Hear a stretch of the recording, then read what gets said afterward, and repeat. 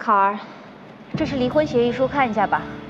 葛墨池的意思是你有什么需求尽管提，他会让律师补进去。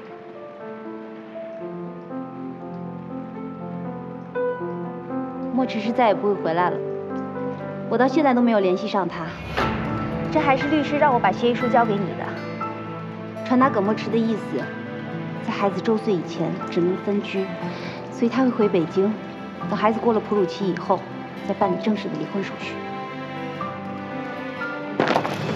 你满意了吧？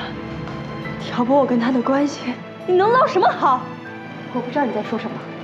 你睁眼说瞎话的本事又见长了。我跟谁去的相思山看流星雨，你最清楚。你却故意说是齐树礼陪我去的。耿墨池要不是受这刺激，他不会在婚礼上给我难堪。是你自己记错了，关我什么事儿啊？你跟齐书礼本来就有一腿，你肚子里边孩子是齐书礼的，所以耿墨池才不要你。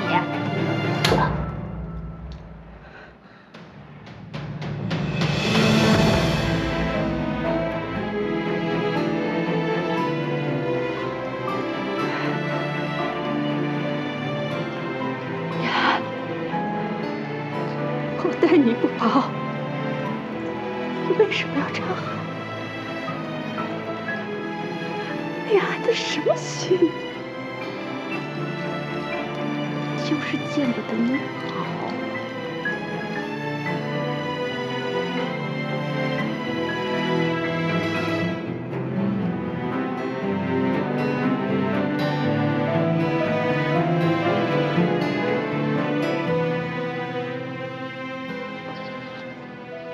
哎，来来来来，来进来进来。哎，你看看，哎，你还没走啊？东西收拾好了？嗯。来来，走，看看这边来。来，你们看看，这是厨房，什么都有。这菜市场过马路就是，生活啊特别方便。来，你再看看，这卫生间，什么都有。你呀，拎包就能入住，这不是挺不错的？有点小吧？哎呦喂，这还小啊！这房子使用面积还五十平米呢。你看看隔壁老王，那是一家三代五口，不才住六十平米吗？哎，你过来看看这个，你看这窗户这阳光多么充足啊！你看，你看这这这，你看这阳光，哎呦喂，你看都照人。可我觉得这是个老楼，然后刚才看厕所还漏水呢。亲爱的，咱也就暂时先住这儿，等咱攒够了这个首付的费用，咱就买个新房，好不好？等你说买房都猴年马月了，快了，就两年，再忍两年，到时候一定给你买个超大的房子，真的吗？真的。祝你好运。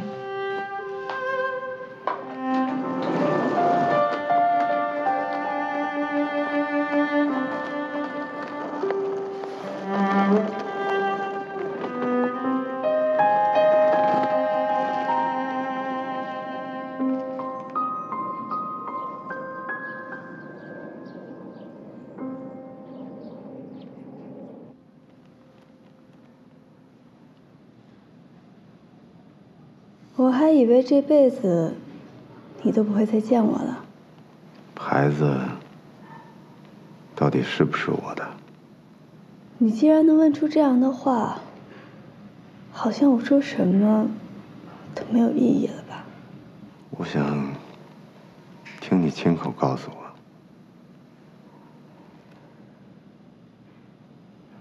好，我承认，孩子不是你的。我怎么可能跟你生孩子呢？你有那么严重的心脏病，万一遗传给孩子，可怎么得了？你明明知道怀了他的孩子，为什么还要嫁给我？我答应嫁给你的时候，还不知道自己怀孕了。等我从北京回到新城才发现的。我好几次想要跟你说，但总开不了口。后来就想着，索性等孩子生下来以后再跟你摊牌，否则你很有可能会逼我拿掉这个孩子。真够无耻的！是啊，我是无耻。我要不无耻的话，当年我老公尸骨未寒的时候，我也不会跟你鬼混。咱俩是一路货色，哲，就算我有错在先，我也不会哭着喊着求你原谅，求你回到我身边。那不是我白考儿会做的事儿。所以，闲话就不说了，我们继续谈离婚的事儿吧。你想怎么谈？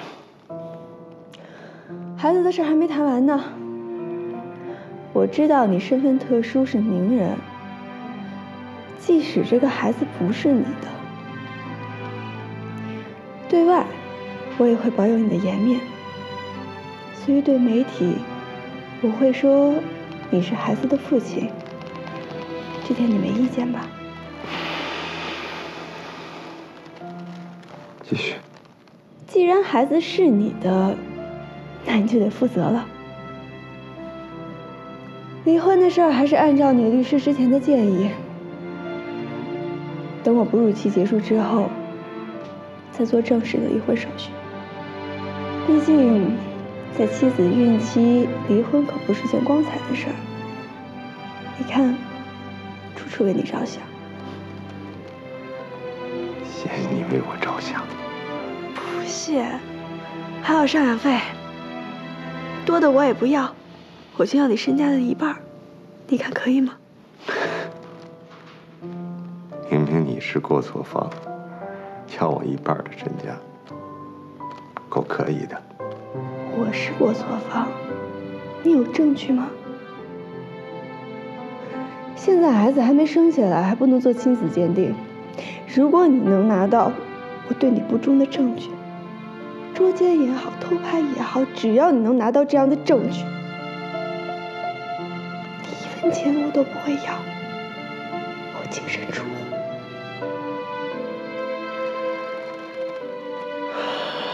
你说多少就多少吧。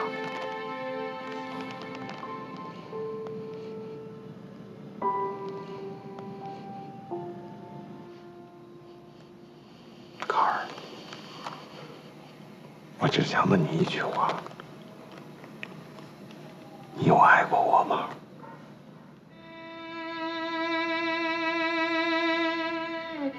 不是混淆的爱，是清清楚楚的，心里知道爱的是我。你有过吗？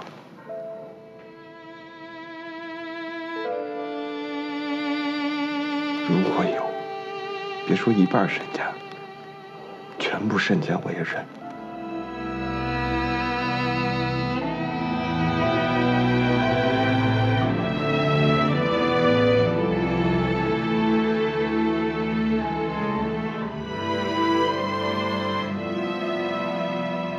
爱你，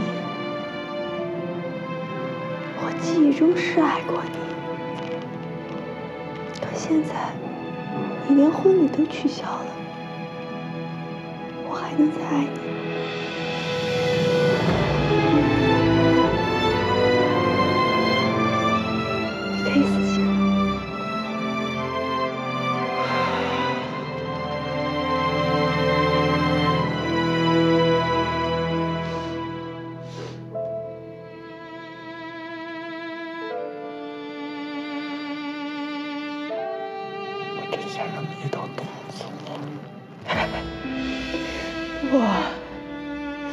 在婚礼上给我那样的羞辱，我怎么可能一刀捅死你呢？我会千刀万刀的扶持你，让你生不如死。我白考儿不是那么好欺负的。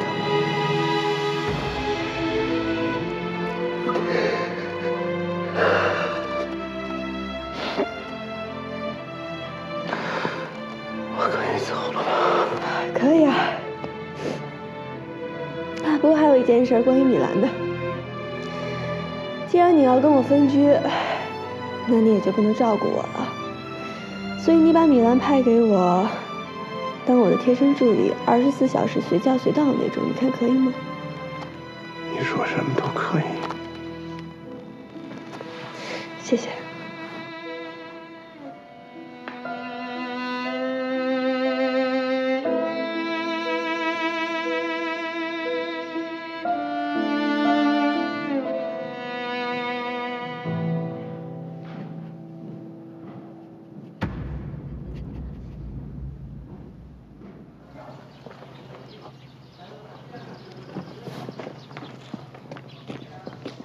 try.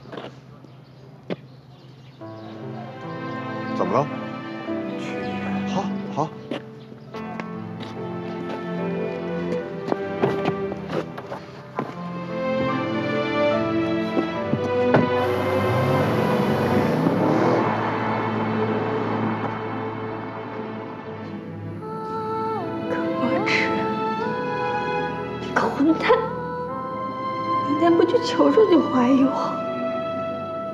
我在你眼里算个什么东西？